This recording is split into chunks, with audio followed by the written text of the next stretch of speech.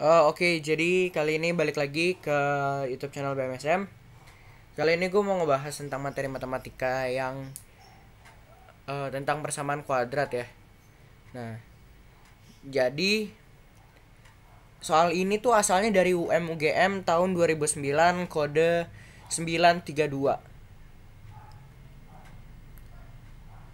Diketahui X1 eh, dan X2 akar-akar persamaan 6x kuadrat min 5x plus 2m min 5 sama dengan 0 Jika 1 per x plus 1 per x2 sama dengan 5 maka nilai m adalah.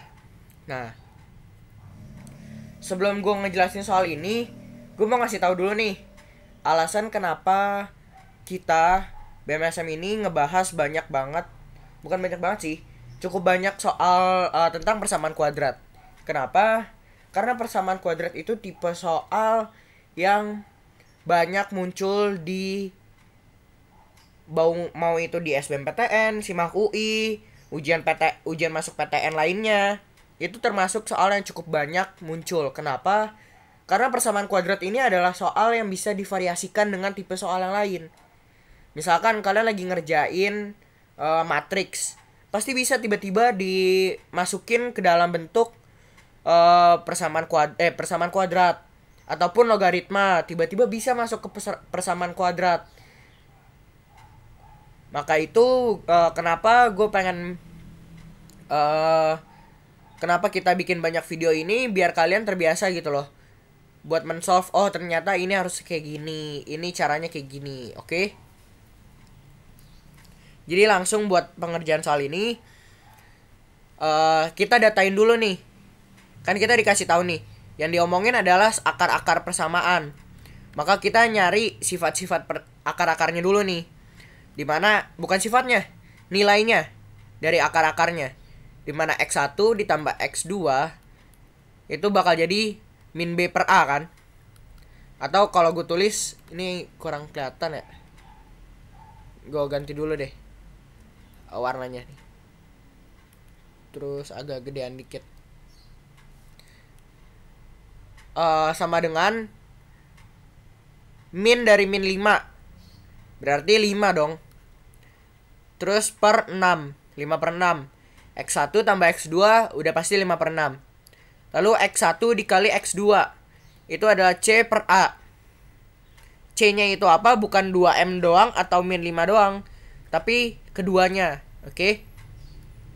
jadi nanti kita tulis 2M min 5 per 6 Nah, kita udah dapet X1, X2. Nilai-nilainya berapa aja? Sebenarnya ada satu lagi yaitu X1 min X2 sama dengan akar D per A. Atau 2A ya? Per A doang deh. Per A doang. Uh, tapi kalau nanti ternyata ada salah, gue bakal jelasin di video selanjutnya, oke? Okay? Nah, uh, buat yang ini doang tapi. Terus yang ini nih X1 plus 1 per X1 plus 1 per X2 ini kita uh, kita buka persamaannya, kita bikin, kita kerjakan. Jadi nanti bentuknya bakal jadi uh, eh, 1 per X1 plus 1 per X2 bakal berubah jadi X2 per X1 ini X2 tambah X1 atau kalau gue pindahin ke bawah bentuknya bakal jadi gini. X1 tambah X2 per X1 kali X2. Sama dengan 5, ya kan? Karena yang tadi di atas dijelaskan kalau itu hasilnya adalah 5. Lalu udah sampai sini, kita masukin angkanya tadi yang kita udah dapat dari sini. Maka nanti 5 per 6 per 2M min 5 per 6 sama dengan 5. Yang ini kita kali ke sini. Atau nanti bentuknya bakal jadi kayak gini. 5 per 6 sama dengan 5 dikali 2M min 5 per 6. 6 nya kan sama-sama ada kita coret. Karena ini dalam bentuk perkalian. 5 nya juga kita bagi.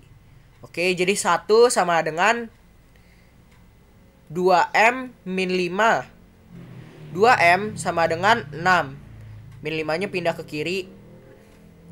Terus ini cuman gue putar doang posisinya. Nah nanti M sama dengan 3 Oke? Jadi jawabannya adalah E. Yeay.